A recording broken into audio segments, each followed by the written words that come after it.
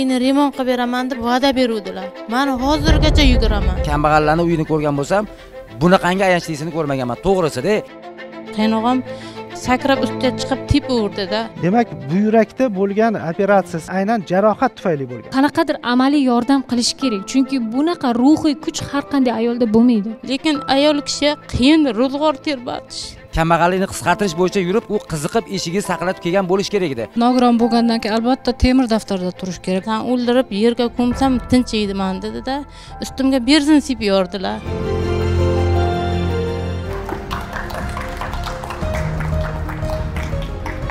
assalomu alaykum. Oramizdagi odamlar ko'rsatuvi yana diqqat markazingizda assalomu alaykum. Bugungi mavzuyimiz qaynim hovlidan haydab chiqardi. Bugungi kunda el orasida turli xil holatlarni xususan mol mulk uy joy talashish. Shu o'rinda aka ukalarni bir biriga dushman bo'lib qolib hattoki bir biriga hayotiga qasd qilish darajasiga borishiga ham guvohi bo'lmoqdamiz. Ayanchli bo'lsada lekin bu haqiqat. Keling hozir qahramonimizni studiyamizga taklif etishdan avval barchamiz e'tiborimizni lavhamizga qaratamiz. Marhamat lavhamiz qahramonni holati ham achinarli uy turishi yashash holati ham albatta va aytayotgan gaplariga qaraganda juda yam og'ir ahvoldalar. Keling ularni hozir studiyaga taklif etamiz va barchasini o'zlaridan batafsil eshitishga harakat qilamiz. Kutib oling qashqadaryo viloyatining shahrisabz tumanidagi hazora qishlog'idan qizlarxon eshonova. Keling assalomu alaykum. Marhamat. Qizlarxon opa hozir biz holatni ko'rdikda lavha orqali yashash sharoitingizni. Tushunishimizcha ovsiningiz o'zingizni tug'ishgan singlingiz. Shunaqami? O'zimni singlim bilan ikki ming o'n birinchi yil dekabr oyiga turmushga chiqib keldik. Ikkalamiz bir ya'ni aka ukaga turmushga tekkan Ha, bir chiqqansiz oilaga birdana ikkalamiz tushib keldik. Keyin ha yaxshi yashab kelayotgandik keyin mart oyidan xo'jayinimni sog'lig'i qochaverdi nima uchun bunaqa bo'lyapti dedim. Qaynog'am keldilarda dorilarni ichirib uyga keltirdi. Keyin man aytdim nima uchun bunaqa bo'lyaptilar? To'g'risini ayting. Bitta baribir bolali bo'lgandan keyin har kim o'zini arvosini o'zi tortadi bunday holatga man qanday yashayman? dedim. Yo'q man o'zim yordam qilaman deb qaynog'am ham so'z berdi. Demak turmushga chiqayotgan paytingizda xo'jayiningizni nogiron ekanligini bilmagansiz. Keyin bilgansiz. Keyin mart oyiga bilib qoldik. O'g'lim ham shu kabi misol uchun bugun eslagan narsasini ertaga so'rasa eslolmaydi. Vrachlarga ko'p davolatdim ko'rsatdim kuchini olsa yaxshi bo'lib ketadi degan uchun gruppaga chiqarmay yurgandim. Mana hozir o'n ikki yoshga to'ldi baribir holat qaytarilyapti. Demak otasidan o'tgan ekan kasallik. Irsiy deb ko'rsatib berishdi. Turmush o'rtog'ingiz ishlamaydilar? Og'ir ish qilolmaydilar. Ekinlar parkga bormaydilar uni qilmaydilar keyin o'zim ishlayman hamma ishga endi qachongacha buyruq qilaman deb o'zim ishlayman. Xo'jayim endi yosh bolada xuddi bachalar bilan qo'shilib o'ynab o'tiraveradilar hozir xo'jayinim ham buyraklari operatsiya bo'lib yotib qolganlar. Qizlarxon opa bizda bir lavha bor. Demak siz aytib bergan holat yuzasida sizni turmush o'rtog'ingiz ya'ni bahodir xo'jaqulov bilan yozilgan lavhamiz bor. Keling uni bizni mehmonlarimiz e'tiboriga havola qilsak. Qizlarxon opaning turmush o'rtog'i bahodir xo'jaqulovning aytishicha ular oilada to'rt o'g'il bo'lishgan ikkita akamga e, qirq sutik bog'da yigirma sutikdan bo'lib ekan. Raisimiz ne'mat aka tiyinga bo'ladi o'n bir sutikdan yigirma ikki sutik bu yerdadan uchastka ham bu yoq pul pul topar. Man nogiron bolaligidan guruhga chiqarman, xudo rahmat aytib o'zim bilmaychi maktab o'qiyotgan bilan vallah aytaychi janjal qilib qo'yganman. Man bilmagandim o'sha. Yer talashib aka uka hattoki bir biriga jarohat yetkazishgacha borishgan. Nima qilgandan keyin man aytdimki bo'ldi dedim agar bersam berayin dedim buni o'ylamni ustiga benzin sepdi man keyin nima o'ylamni ustiga benzin sepyapsan deb qo'l nima belman ham so'raldim buni qo'lisanda u yana turkil o'sha holatda man tepib tashlagan. Bessazlana bo'lganman bu ham o'zimga o'zi bo'lib qolgan hamsiyalar skor chaqirtirib bechoralar hamsiyalar bordi ham shukurda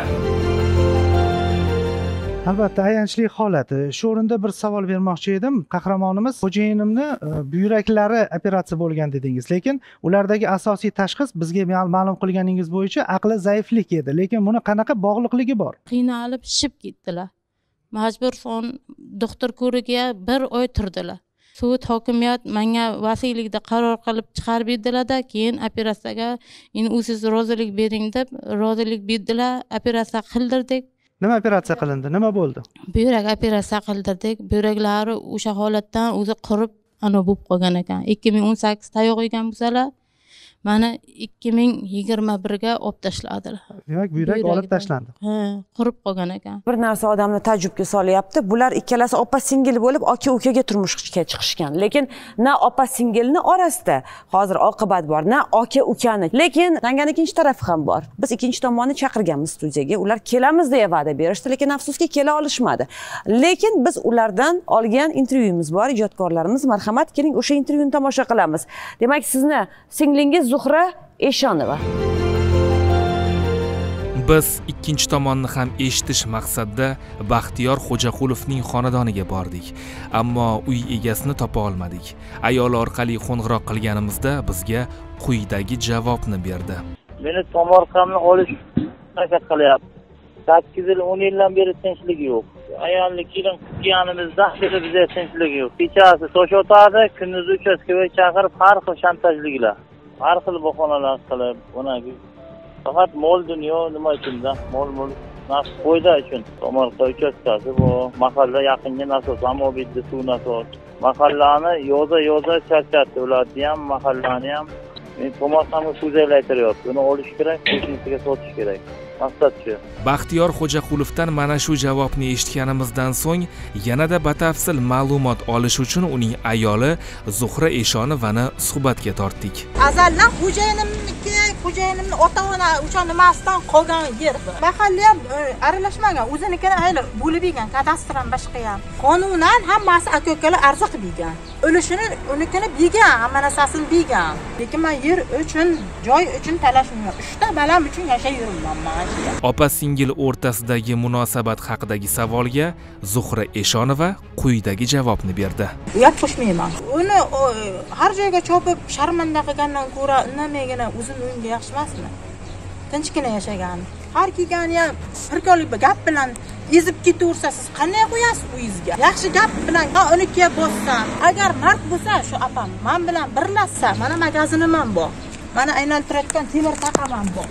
Birlashsa opam boshida birlashmadi opam birlashsa mana shunday bo'lsa pullik qilayotgan biz edik boshidan g'ashiqda и xo'jayinim bilan g'ashiqda kechirilmayotgan gaplar qildi boshqa qildi odamni yuragidan chiqmayotgan narsa qilgandan keyin g'isht uydirib sotaman har yili mana qo'rqoqni uydirib qo'yibman bu yil ham maydan keladi. Qaddini ursin mana tarnik ham qildiraman. Endi mana dumni chuqur joylaychiydi baland edi turpoq joylaychiydi mana uyimiz balanga qolib ketgan bitta mana shu уровеньga qilib turpog'ini suzdirib suzdirib ikki ming o'n sakkizdan beri g'isht quydirib sotaman. Mana turpoq tekislovgandan keyin уровеньga qilib и так qarniga ham qilaman daraxt ham qilaman. E, kelishmaydi u opam boshqa birov bo'lsa kelishib bo'yib ketaydi. Zarxon opa biz eshitdik singlingizni gaplari sizni munosabatingiz. Ular siz aytgan gapni aksini aytyaptilar demak bu yerda murosa yo'q. Har xil g'idi g'idi gaplar demak u qilmaydi bu qilmaydi va asosiy maqsad bu yerda moddiy manfaat dedilar. Yo endi mani agar xo'jayinim kasal bo'lmay o'g'lim kasal bo'lmasa man xo'jayinim ara kirsalar bir xona chalvar bo'lsa ham sabr qilib yashayman. Mayli ursa ham so'ksa ham sabr qilib yashayman. Man ham davlatni talab yeyishni xohlamay o'g'limni gruppaga chiqarmadim. O'zlari bilan o'tirib hech gaplashib ko'rmadingizmi quvvatim bor sabr qilib davolatay dedim. Lekin oxiri charchadim ikki oy o'zim yotib qoldim. Holing qanday deb hech kim xabar olmadi qarang o'zingizni jigaringizku to'g'rimi? Tug'ishgan singlingiz to'g'rimi? Hech borib oldilariga shu gaplarni aytmadingizmi yig'lamadingizmi? Xotimaga rahming kelmayapti. Hammasini aytganman yordam qilinglar dedim. Lekin aytyaptilarku agar men bilan murosaga kelib yashasa hammasi yaxshi bo'ladi mana mahalla raisi bor hozir bular qarang. Ham erlari nogiron. Farzandi necha yosh? Kattangiz o'n ikkiga to'ldi e, ruhiy kasal farzandingiz o'n ikki yosh. to'ldi u kasal deyaptilar. Ikkita yosh bola bilan yashayotgan bilan bir xilda hozir bular mani kuzatuvimda shunaqa bo'ladi. Ko'p ayollar ozgina yetishmovchilikda noshukurlik qilib ro'zg'ordan chiqib ketadi. Lekin bular shuncha qiyinchilik bo'lishiga qaramasdan shu kasal erini tashlab ketmayapti. Harakat qilyapti shu ro'zg'orni yana gullatib yashnatishga. Bularga qanaqadir amaliy yordam qilish kerak. Chunki bunaqa ruhiy kuch har qanday ayolda bo'lmaydi. Aytyaptilarki mana hozir mahallaga chiqdik. Hech kimni yordami tegmayapti degan gapni aytib o'tdilarda. Biz ham mahalla bilan bog'lanishga harakat qildik. Qahramonimiz istiqomat qiladigan e, lekin afsuski e, bizga qaytib qo'ng'iroq qilamiz deyishdiyu javobini aytishgani yo'q. Lekin mana shu mahallada bir necha yildan beri istiqomat qiladigan bir qo'shningiz bilan bog'langanmiz va ulardan yozib olingan lavhamiz bor. Jigarlar o'rtasidagi masalaga oydinlik kiritish maqsadida hazora mahalla fuqarolar yig'ini binosiga bordik. Ammo u yerdan na mahalla raisi kamola imomovani na boshqa mahalla faollarini topa oldik. Shundan so'ng ushbu mahallada 38 yildan buyon yashab kelayotgan bahriniso beknazarovaga murojaat qildik. Qizlarxon opaning yon qo'shnisi bo'lgan bu ayol qahramonimiz haqida shunday ma'lumot berdi. O'zini kunini o'zi o'tkazadi birovga zarar tegmaydi. O'zi bilan o'zi. Mana mehnat qilgan mana hovlilar ko'ryapsiz shu lalmiga shuncha ekin qilib ko'kattirib qo'yibdiku.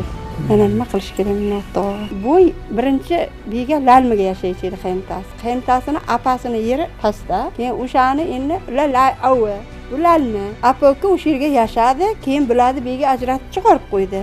Keyin bu kelin aytyaptiku ag'dan manga to'rt sutik avidan beringlar dedi. Ular bermaymiz momo biza bilan dedi.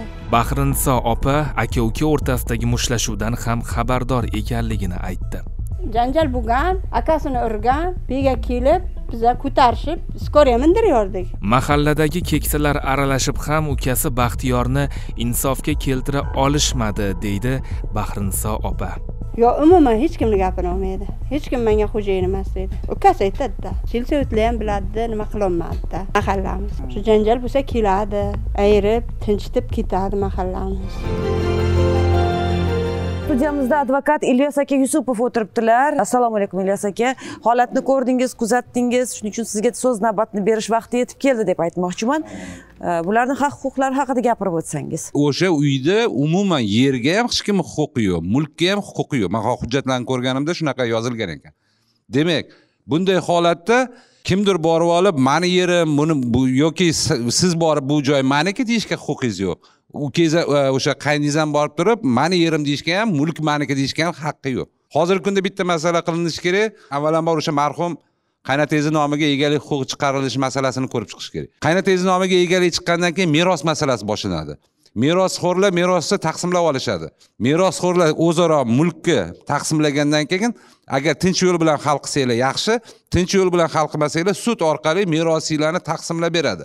Hozirgi kungacha esa sizlar unisi maniki degani bilan bunisi maniki degani bilan ikkalovinglarniki emas u joy. Demak e, o'sha yigirma ikki sotix bo'yicha bo'ladigan bo'lsa hammanglar teng ulushga ega bo'lardinglarda o'sha aynan yigirma ikki sotiqqa ham bu yoqdagi oltiga ham.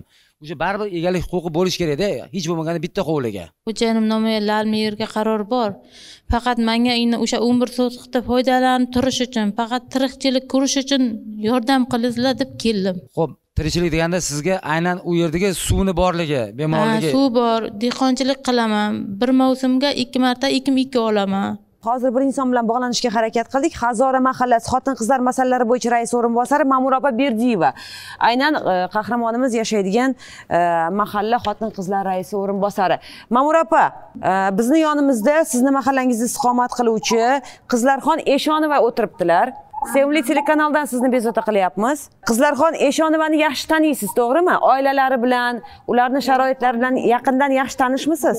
Tanishman. Eshonova qizlarxon sakson ikkinchi yilda tug'ilgan borib sharoitini o'rganganmiz. Bu kishiga mahalla tomonidan tuman hokimliklar tomonidan qanday yordam berilgan bo'lsa berilgan. Yordam berilganmi yoki yordam berilib kelyaptimi? Asovga bu kishiga o'ziga отдельно xo'jayini nomlariga olti yarim tomorqa berilgan lekin yana ukasi qaynukasidan ikki yer berasan deb besh yil olti yildan beri mojaro bo'lib keladi. Uni kadastri yo'q qonuniy tartibda. Uni hech kim olishga ham haqqi yo'q. Uchun notinch oilaga ham biza qo'yib qo'yganmiz endi bu kishini tomonidan ukasiga nisbatan qurilgan devorlariga keyin har xil yomon so'zlar basam aytib turganini ma'mur opa keling amaliy yordam haqida. Aynan aynan qanaqa amaliy yordam sizlarga man kiritganman ikkinchi eshab ayollar daftariga bu kishiga suv nasos bilan tepaligroqqa turadi suv chiqarish uchun tomorqadan unumli foydalanish uchun suv nasos bilan plyonka olib bertirganmanda kim tomonidan olib berilgan? Abimik tomonidan mehnat birjasi lekin hozirda mahalla olib bergani yaxshi tortmayapti degan gapni ham aytib o'tdilarda bizga. Ma'mur opa. Qarang bu kishiga besh marta bo'lsa ham olti marta bo'lsa ham biza oziq ovqatni qo'lingizdan kelgancha pul moddiy yordamni mana bayramlarga bo'ladi hayitlarga bo'ladi. Sakkizinchi mart oldimi to'qqizinchi may oldimi mana yangi yilda bo'lyapti mana prezidentimiz bilan beriladigan hamma yordamlarni ko'rsatib kelgan bizada mayli ketma ketlikda bo'lsin sharoitini tushungan holatda u kishini chetda qoldirmaganman.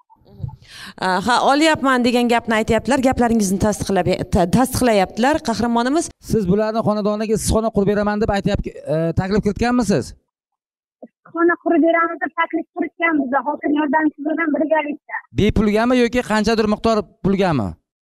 Yo'q bu kishiga subsidiya asosida bankdan chiqartirib qilib beramiz dedik bu subsidiya bo'lgandan keyin qaytarilmaydigan subsidiya bo'ladi bular qaytarmaydilar. Shunaqami bularga hech qanaqangi ortiqcha xarajat bo'lmaydi.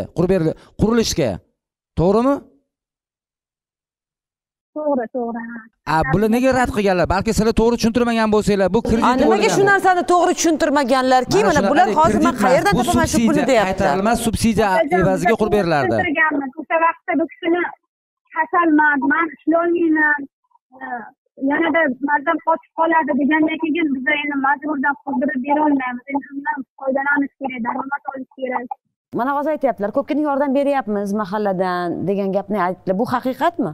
Ikki ming yigirma bir yordam qildilar faqat produktni olganim yo'qu mana mm, o'qiydigan bolalarga besh yuz mingdan pul tarqatishdi. Sentyabr oyi bir million pul oldim. Keyin ikki ming yigirma bir yangi yil oldi pul berdilar keyin yana sentyabr oyi pul berdilar.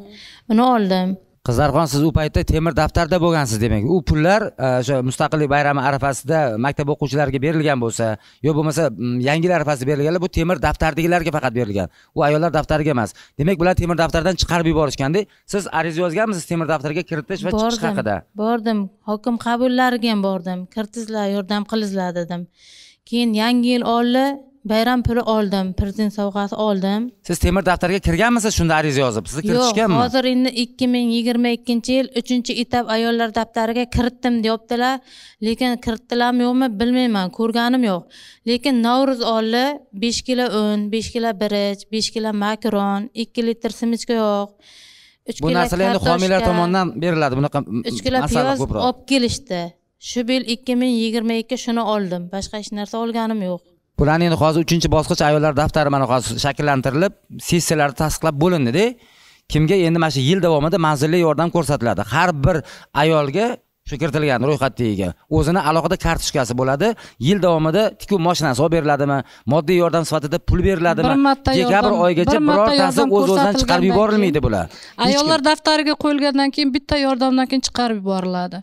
Bu kishini xo'jayini bunaqa nogiron bo'lgandan keyin albatta temir daftarda turishi kerak. Ayollar daftari uchinchi etapi ham to'rtinchi etapi ham kelajakda bo'ladigan bir yordamdan keyin chiqarilib o'rniga yo'q kechirasiz opa hozir uchinchi bosqich unaqa emas. Uchinchi bosqichi o'ttiz birinchi dekabrgacha chiqarilmaydi.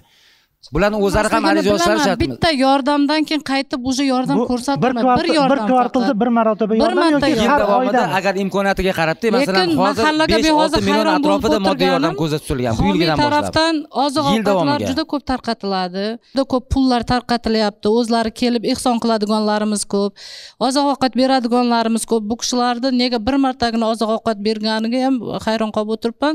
Keyin siz aka ukalar to'rtta deyishdi u xo'jayini tomonidan boshqa qolgan ikkitasi qayerda? Ular nega sizlarga yordam qilmaydi?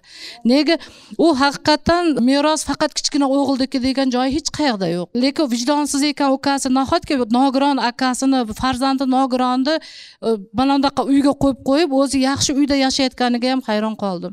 Manga yerda umrbod qilib bering demayman. Faqat ro'zg'orimga tirikchilik qilish uchun. Bu ayolni asosiy maqsadi yerni maniki qilib beringlar demayapti. O'sha ekin tekin qilishga sharoiti bor joyda bir yilda ikki marta ekin tekin qilib olay deyapti. Hozir to'g'ri olti sotix yeringiz bor tinchgina kuningizni ko'ringda o'sha yerda janjalsiz o'sha yerda o'tiring deyapmiz lekin buni eri kasal o'n ikki yoshli bolasi ruhiy kasal. Bu o'zi sog'lomsiz bo'lib o'tiribdi. Ham tibbiy ham ruhiy yordam kerak bu ayolga.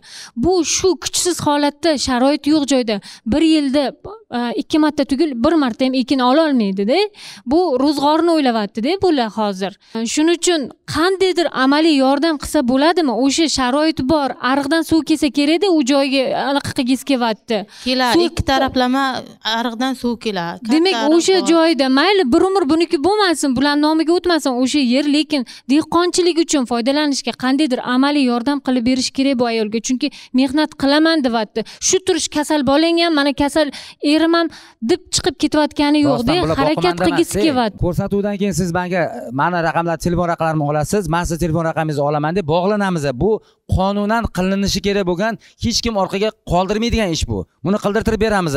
Farzandingizga nogironligi belgilatishi va sizga ikkita nogironga qarayotgani uchun sizga alohida o'sha hujjat yurg'izib sizga pul belgilab berilishi rahmat. Qilib beramiz bugun e, ko'rsatuvimiz davomida bir insonni muammosini olib chiqishga harakat qildik. Lekin o'ylaymizki bugungi voqea nafaqat bir insonni aksincha bir inson timsolida ko'plab insonlarni muammolarini hal etishga yordam beradi. Sababi jamiyatning mustahkam bo'lishi jamiyatda yashovchi insonlarni bir biriga mehr va muruvvatli bo'lishidadir.